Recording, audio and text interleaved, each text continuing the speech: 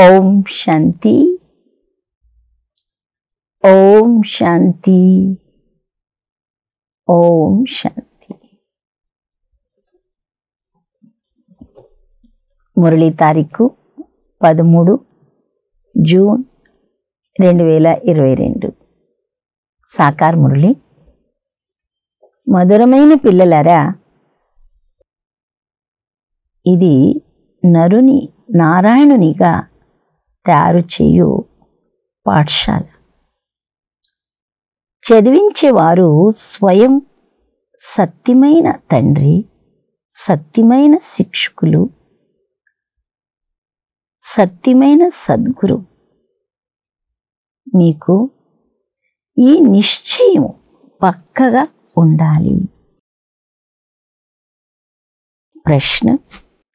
పిల్లలైన మీకు ఏ విషయములో కొద్దిగా కూడా చింత ఉండరాదు. ఎందుకు? జవాబు ఒకవేళ ఎవరైనా నడుస్తూ నడుస్తూ ఆర్ట్ ఫెయిల్ గుండెపోటు అయినా శరీరాన్ని వదిలేసిన మీకు ఎలాంటి చింత ఉండరాదు.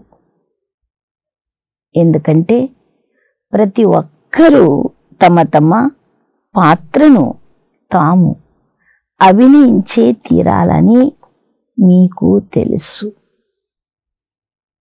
ఈ ఆత్మజ్ఞాన యోగాల సంస్కారము తీసుకెళ్ళి భారతదేశానికి ఇంకా మంచి సేవ చేస్తుందని మీకు సంతోషం ఉండాలి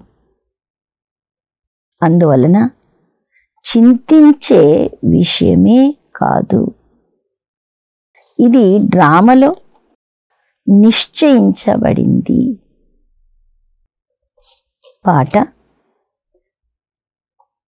తుమి హో మాత తుమి హో పిత. నీవే తల్లివి తండ్రివి. ఓం శాంతి. తండ్రి పిల్లలకు అర్థం చేయిస్తున్నారు. బాబా కూడా పిల్లలు అంటూ పిలుస్తారని. బాబ్ దాదా ఇద్దరు కంబైన్డ్గా ఉన్నారని కూడా పిల్లలకు తెలుసు. మొదట బాప్ దాదా తర్వాత పిల్లలు. ఇది నూతన రచన కదా? అంతేకాక తండ్రి రాజయోగము నేర్పిస్తున్నారు. ఐదు వేల సంవత్సరాల క్రితం వలె మళ్ళీ మనకు రాజయోగాన్ని నేర్పిస్తున్నారు. భక్తి మార్గములో పుస్తకాన్ని తయారు చేసి దానిని గీత అని అన్నారు. కానీ ఈ సమయంలో గీత విషయం ఏదీ లేదు. తర్వాత శాస్త్రముగా తయారు చేసి శ్రీమద్ భగవద్గీత అని ఇది సహజ రాజ్యోగాన్ని గురించి తెలిపే పుస్తకము అని అన్నారు. భక్తి మార్గములోని పుస్తకాలు చదివినందున లాభమేమీ ఉండదు. అలాగే ఊరికే శివుణ్ణి స్మృతి చేసినందున కూడా ఏ వారసత్వం లభించదు. వారసత్వం కేవలం ఇప్పుడు సంగమ యుగములో మాత్రమే లభిస్తుంది. తండ్రి మనకు అనంతమైన వారసత్వమునిస్తారు. ఆ వారసత్వం కూడా సంఘమయుగములోనే ఇస్తారు. వారు మనకు రాజ్యోగము నేర్పిస్తారు. సన్యాసులు మొదలైన వారు కూడా మరొక విధమైన యోగము నేర్పిస్తారు. వారు నేర్పించే యోగానికి ఈ యోగానికి రాత్రికి పగలుకున్నంత వ్యత్యాసం ఉంది వారి బుద్ధిలో గీత ఉంటుంది. కృష్ణుడు గీతను వినిపించాడని భావిస్తారు. దానిని వ్యాసుడు వ్రాసాడని అంటారు. కానీ గీతను కృష్ణుడు వినిపించలేదు. సమయము కూడా అది కాదు. ఆ సమయములో కృష్ణుని రూపము కూడా ఉండదు. తండ్రి అన్ని విషయాలు చాలా స్పష్టము చేసి అర్థము చేయిస్తున్నారు. ఇప్పుడు మీ అంతకు మీరే నిర్ణయం చేసుకోండి అని బాబా అంటున్నారు. వారి పేరు కూడా ప్రసిద్ధి చెందింది.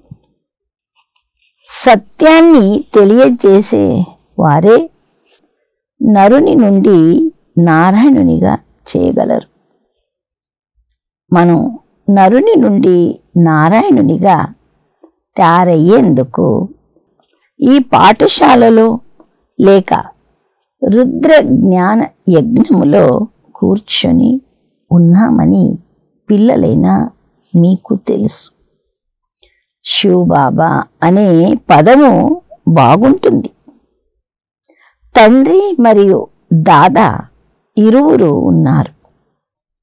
ఈ నిశ్చయంతోనే మీరు వచ్చారు. తండ్రి ఈ బ్రహ్మ ద్వారా వేద శాస్త్రాలన్నిటి సారాన్ని అర్థం చేయిస్తారు.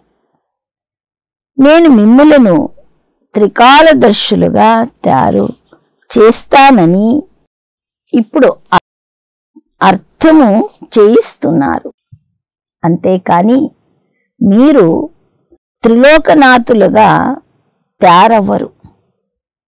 మీరు ఒక్క శివపురానికి మాత్రమే యజమాని అవుతారు. దానిని లోకమని అనరు. లోకమంటే మనుష్య సృష్టి మనుష్య లోకము. చైతన్య లోకము. అది నిరాకార లోకము. మీకు కేవలం మూడు లోకాల జ్ఞానము మాత్రమే వినిపిస్తారు. మూడు లోకాలకు యజమానిగా తయారు చేయరు. మూడు లోకాల జ్ఞానము లభించింది. అందువలన త్రిలోకదర్శులు అని అంటారు. లక్ష్మీనారాయణులను కూడా త్రిలోకనాథులని అనరు. విష్ణువును కూడా నాథుడని అనరు. విష్ణువుకు మూడు లోకాల జ్ఞానమే లేదు.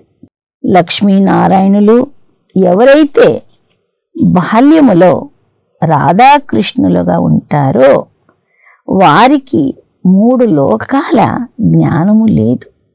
మీరు త్రికాలదర్శులుగా తయారవ్వాలి. జ్ఞానము తీసుకోవాలి. కృష్ణుణ్ణి త్రిలోకనాథుడని అంటారు. కానీ అది రైట్ కాదు. మూడు లోకాల యజమాని రాజ్య పాలన చేసిన వారిని అంటారు. కృష్ణుడు కేవలం వైకుంఠనాథునిగా అవుతాడు. సత్యుగాన్ని వైకుంఠమని అంటారు. త్రేతాయుగాన్ని వైకుంఠమని అనరు. ఈ లోకానికి కూడా మనం నాతునిగా అవ్వలేము. బాబా కూడా కేవలం బ్రహ్మ మహాతత్వానికి మాత్రమే యజమాని.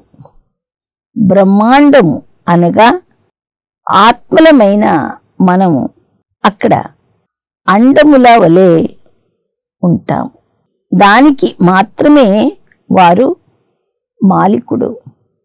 బ్రహ్మ విష్ణు శంకరులు సూక్ష్మోత్తనములో నివసించేవారు. కావున వారిని అచ్చటి యజమానిని అంటారు. మీరు వైకుంఠనాథునిగా అవుతారు. అది సూక్ష్మవతన విషయము. ముందు చెప్పింది మూలవతన విషయము. కేవలం మీరు మాత్రమే త్రికాలదర్శులుగా అవ్వగలరు మీ మూడవ నేత్రము తెరుచుకుంది. భృకుటి మధ్యలో మూడవ నేత్రం ఉన్నట్లు చూపిస్తారు. అందువలనే త్రినేత్రి అని అంటారు. కానీ ఈ గుర్తు కేవలం దేవతలకు మాత్రమే ఇస్తారు. ఎందుకంటే మీకు కర్మాతీత అవస్థ వచ్చినప్పుడు మీరు త్రినేత్రులుగా అవుతారు. అది ఈ సమయంలోని విషయం. పాతవారు జ్ఞాన శంకుమును పూరించరు. కానీ అందుకు బదులుగా వారు స్థూల శంఖమని వ్రాసేశారు. ఇది నోటికి సంబంధించిన విషయం. నోటితో మీరు జ్ఞాన శంఖాన్ని పూరిస్తారు. జ్ఞానమును చదువుకుంటున్నారు. పెద్ద యూనివర్సిటీలో జ్ఞానము చదువుకున్నట్లు ఇక్కడ మీరు చదువుకుంటున్నారు. ఇది పతిత పావనులైన ఈశ్వరీయ విశ్వవిద్యాలయము గాడ్ ఫాదర్లీ యూనివర్సిటీ. మీరు ఎంత పెద్ద యూనివర్సిటీ స్టూడెంట్స్ అయ్యారు. అంతేకాక బాబా తండ్రియే కాక టీచర్ సద్గురువు కూడా అయ్యారని కూడా మీకు తెలుసు. సర్వస్వము వారే. ఈ మాతా పితలు ఏ స్థితిలోనైనా సుఖమునే ఇస్తారు. అందుకే మీరు మాతా పిత అని అంటారు. వీరు శాక్రీన్ వంటి చాలా మధురమైన వారు. దేవతల వలె మధురంగా ఎప్పుడూ ఎవరు ఉండరు. భారతదేశము చాలా సుఖంగా సదా ఆరోగ్యంగా సదా సంపన్నంగా ఉండేదని పిల్లలకు తెలుసు. సంపూర్ణ పవిత్రముగా ఉండేది నిర్వీకారి భారతదేశమని కూడా అంటారు. ఇప్పుడు అలా అనరు. ఇప్పుడు వికారి పతిత భారతదేశమని అంటారు. తండ్రి ఎంతో సులభం చేసి అర్థం చేయిస్తున్నారు. తండ్రిని వారసత్వాన్ని తెలుసుకుంటారు. బాబా ఎంతో మధురంగా తయారు చేస్తారు. మేము శ్రీమతమును అనుసరించి చదువుకొని ఇతరులను కూడా చదివించాలని మీరు కూడా భావిస్తారు. అదే మీ వ్యాపారం పోతే జన్మ జన్మాంతరాల కర్మ భోగము చాలా ఉంది కదా. ఎవరైనా జబ్బు పడతారని అనుకోండి. రేపు ఆర్ట్ ఫెయిల్ అవుతారనుకోండి. డ్రామాలో నిశ్చయించబడిందని భావించండి. జరుగుతుంది భవిష్య వారు మరో పాత్ర చేయవలసి ఉంటుంది.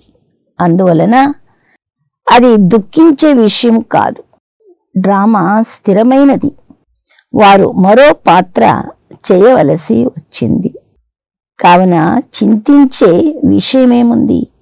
ఆ ఆత్మ వెళ్ళి భారతదేశానికి ఇంకా మంచి సేవ చేస్తుంది. ఎందుకంటే అటువంటి సంస్కారమే తీసుకెళ్తారు.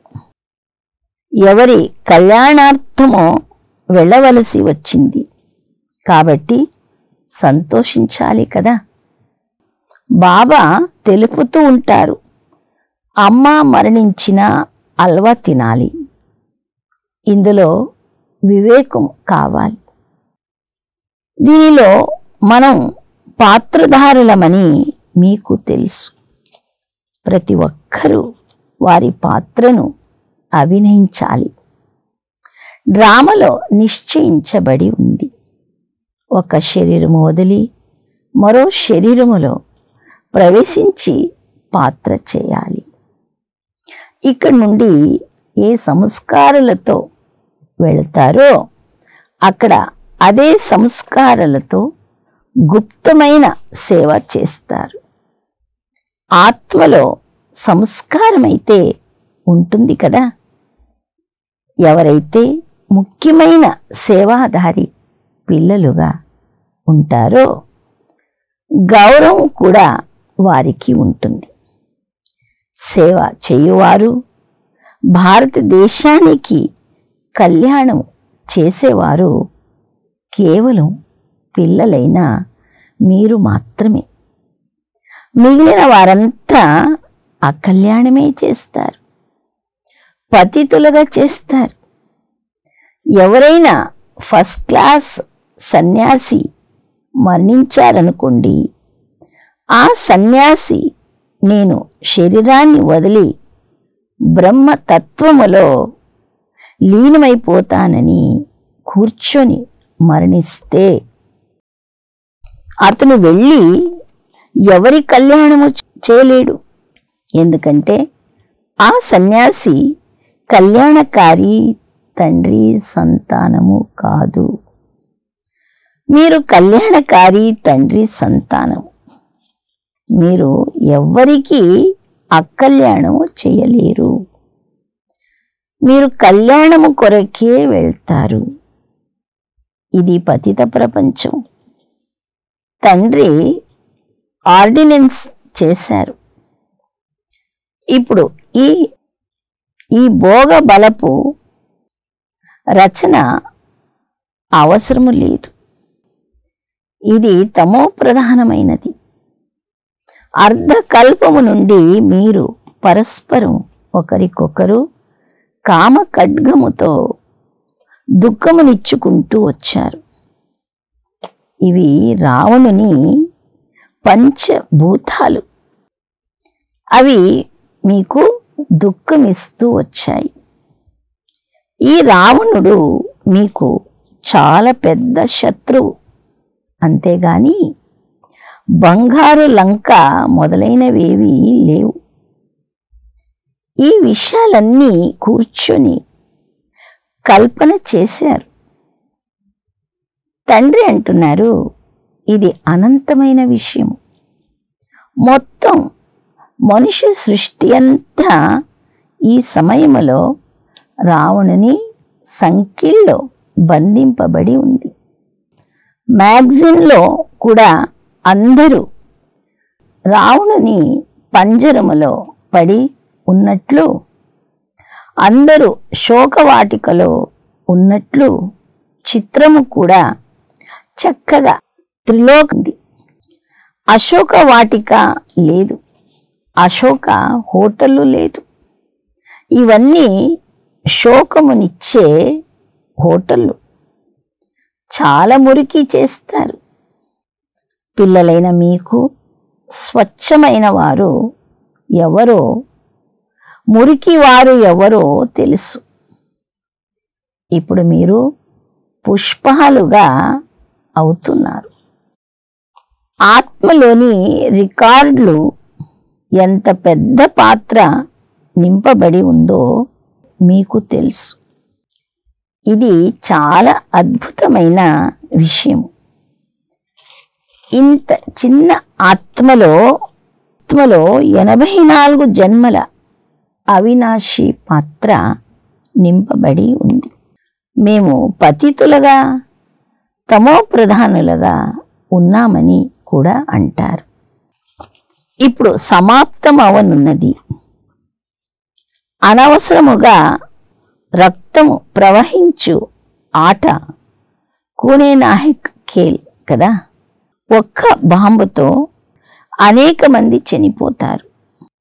ఇప్పుడు ఈ పాత ప్రపంచము ఉండబోదని మీకు తెలుసు. ఇది పాత శరీరము పాత ప్రపంచము. మనకు నూతన ప్రపంచములో నూతన శరీరము లభిస్తుంది.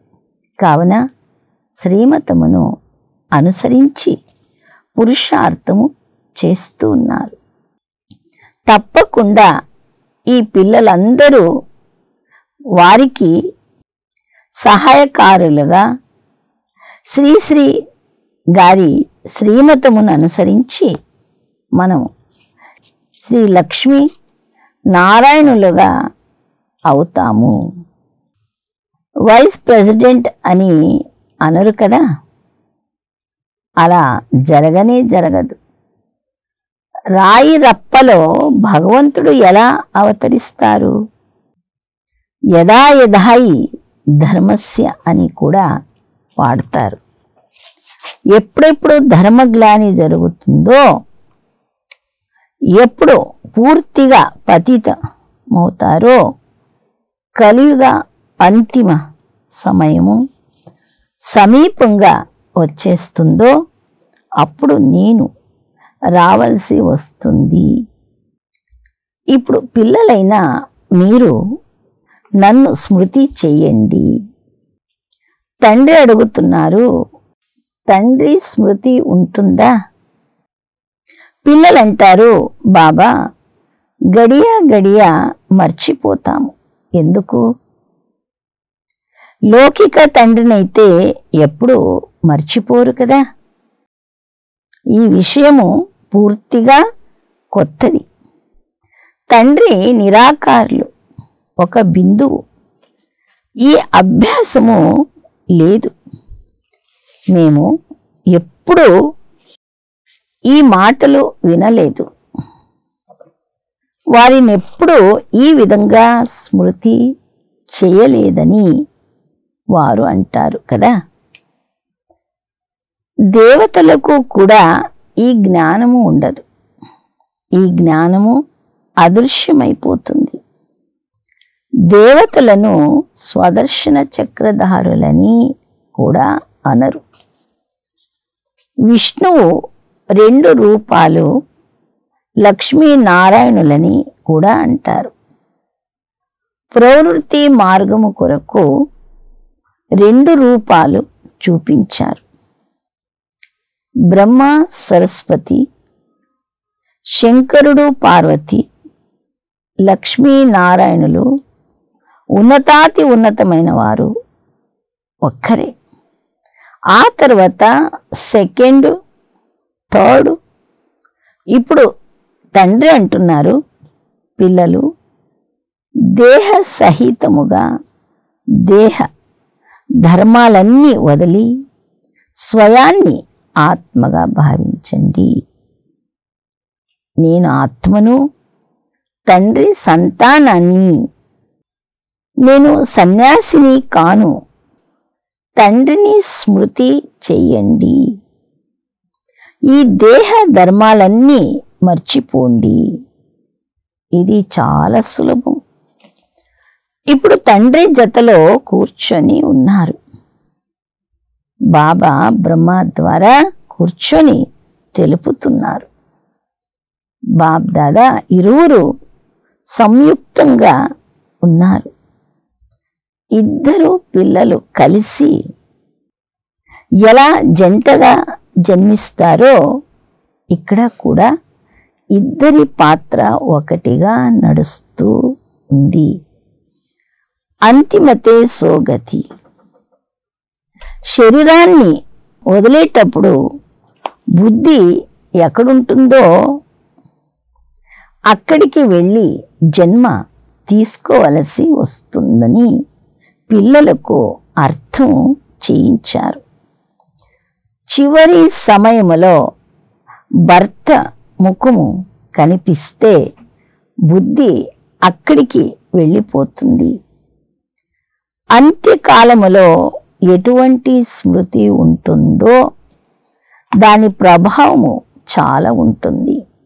ఒకవేళ ఆ సమయములో కృష్ణుని వంటి బాలునిగా అవ్వాలని స్మృతి ఉంటే చాలా సుందరమైన బాలునిగా జన్మ తీసుకుంటారు. ఇప్పుడు చివరి సమయము పై పూర్తి గమనం ఉంచాలి కదా.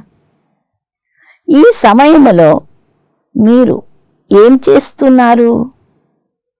శివబాబాను స్మృతి చేస్తున్నామని మీకు తెలుసు. అందరికీ సాక్షాత్కారము అవ్వనే అవుతుంది. కిరీటము కృష్ణునికి కూడా ఉంది రాధకు కూడా ఉంది. రాకుమార రాకుమార్తెలుగా అవుతారు. కానీ ఎప్పుడు సత్యుగములోనా లేక త్రేతాయుగములోనా? అది పురుషార్థంపై ఆధారపడి ఉంటుంది. ఎంత పురుషార్థము చేస్తారో అంత ఉన్నత పదవిని పొందుతారు. మేము ఇరవై ఒక్క జన్మలకు రాజ్య పదవి పొందుకుంటామని మీరంటారు. మమ్మ బాబా తీసుకుంటే మనమెందుకు? అనుసరించరాదు. జ్ఞానధారణ చేసి ఇతరులతో చేయించాలి. ఇంత సేవ చేస్తే అప్పుడు ఇరవై ఒక్క జన్మలకు ప్రాలబ్ధము లభిస్తుంది. పాఠశాలలో ఎవరు బాగా పురుషార్థము చేయరో వారు తక్కువ మార్కులు తీసుకుంటారు. మీరు ఇప్పుడు ఐదు వికారాల రూపీ మాయ రావణునిపై విజయం పొందుతారు. మీది అహింసక యుద్ధం. ఒకవేళ రామునికి గుర్తులు ఇవ్వకుంటే సూర్యవంశీయులుగా చంద్రవంశీయులుగా ఎలా అనబడతారు? కావున తండ్రి అంటున్నారు మీరు ఎంత పురుషార్థము చేస్తే అంత అంతిమతి సోగతి అవుతుంది. దేహమును గురించి కూడా గమనం ఉండరాదు. అందరినీ మర్చిపోవాలి. తండ్రి అంటున్నారు మీరు అశరీరులుగా వచ్చారు. మళ్ళీ అశరీరులుగానే వెళ్ళాలి. మీరు ఇంత చిన్న బిందువై ఈ చవ్వలతో వింటున్నారు. నోటి ద్వారా మాట్లాడుతున్నారు. ఆత్మలమైన మనం ఒక శరీరం వదిలి మరొక శరీరం తీసుకుంటాము. ఇప్పుడు ఆత్మలైన మనం ఇంటికి వెళతాము. బాబా చాలా అలంకరిస్తున్నారు. దీని ద్వారా మనుషుల నుండి దేవతలుగా అవుతారు. శివబాబాను స్మృతి చేయడం వలన మనం ఈ విధంగా అవుతామని మీకు తెలుసు. గీతలో కూడా నన్ను స్మృతి చేయండి వారసత్వాన్ని కూడా స్మృతి చేయండి. అప్పుడు మీరు స్వర్గానికి యజమానులుగా అవుతారని ఉంది. ఇది చాలా సహజం. మేము కల్ప కల్పము మీ నుండి బ్రహ్మ ద్వారా వారసత్వం పొందుకుంటామని అర్థము కూడా చేసుకుంటారు. బ్రహ్మ ద్వారా దేవతా ధర్మము స్థాపన చేశారని మహిమ కూడా ఉంది కదా. పాస్ అవ్వకుంటే త్రేతలో క్షత్రియ ధర్మములోకి వెళ్ళిపోతారు. బ్రహ్మ ద్వారా బ్రాహ్మణ దేవత క్షత్రియ అను మూడు ధర్మాలు స్థాపన అవుతాయి. సత్యుగములో ఇతర ధర్మమేది ఉండదు. మిగిలినవన్నీ తర్వాత వస్తాయి. ఆ ధర్మాలతో మనకు ఏ సంబంధము లేదు. భారతవాసులు మేము ఆది సనాతన దేవి దేవత ధర్మము వారమని మర్చిపోయారు. డ్రామాలో ఈ పాత్ర కూడా ఇలా చేయబడింది. అచ్చా మీటే మీటే సికిలదే బచ్చో ప్రతి మాత్ పిత బాప్ దాదా याद प्यार और गुड मॉर्निंग रूहानी बाप की रूहानी बच्चों को नमस्ते हम रूहानी बच्चों की रूहानी बाप दादा को याद प्यार और గుడ్ మార్నింగ్ నమస్తే నమ ధారణ కొరకు ముఖ్య సారం మొదటి పాయింట్ శ్రీమతమును అనుసరించి చదివి మరియు చదివించే వ్యాపారము చేయాలి. డ్రామా విధిపై స్థిరంగా ఉండాలి. ఏ విషయం గురించి చింతించరాదు. తర్వాతి పాయింట్. అంతిమ సమయంలో ఒక్క తండ్రి తప్ప ఇతరులెవ్వరూ గుర్తు రాకూడదు. అందువలన ఈ దేహమును కూడా మర్చిపోయే అభ్యాసము చేయాలి. అశరీరులుగా అవ్వాలి. వరదానము మనస్సు బుద్ధి ద్వారా ఎలాంటి చెడును టచ్ చెయ్యని సంపూర్ణ వైష్ణవులు మరియు సఫల తపస్వి భవ వివరణలో. పవిత్రత పర్సనాలిటీ మరియు రాయల్టీ గలవారు మనస్సు బుద్ధి ద్వారా ఎలాంటి చెడును టచ్ చేయలేరు.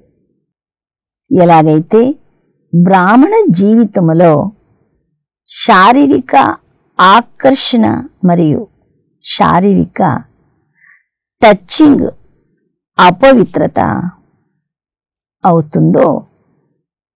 అలా మనస్సు బుద్ధిలో ఎలాంటి వికారి సంకల్పాల ఆకర్షణ మరియు టచ్చింగ్ అపవిత్రత అవుతుంది? కనుక ఎలాంటి చెడును సంకల్పములో కూడా టచ్ చేయరాదు. ఇదే సంపూర్ణ వైష్ణవులు మరియు సఫల తపస్విల గుర్తు. స్లోగన్. మానసిక చిక్కులను సమాప్తం చేసి వర్తమానాన్ని మరియు భవిష్యత్తును ఉజ్వలంగా చేసుకోండి. ఓం శాంతి.